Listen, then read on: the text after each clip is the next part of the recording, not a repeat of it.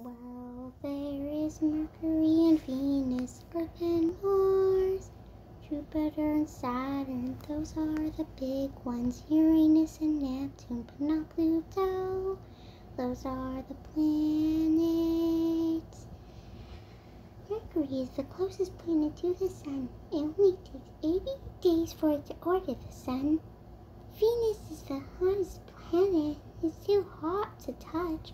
You could cook an egg right on the ground on Venus, and there is Mercury and Venus, Earth and Mars, Jupiter and Saturn. Those are the big ones.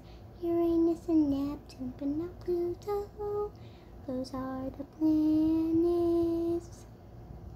Earth is a very special planet. It's where you live. Mars, well, um, there's nothing really to do on Mars. It's kind of boring there. And Jupiter, that planet is huge.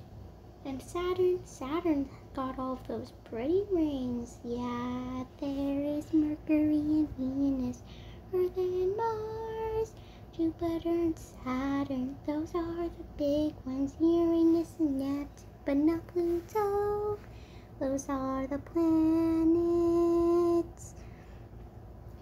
And well, Uranus is a very blue is a very beautiful blue planet.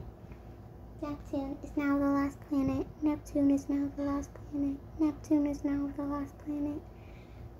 And Pluto, Pluto used to be a planet, but it isn't anymore. Now there is Mercury and Venus, Earth and Mars, Jupiter and Saturn. Those are the big ones. Uranus and Neptune, and not Pluto. Those are the planets.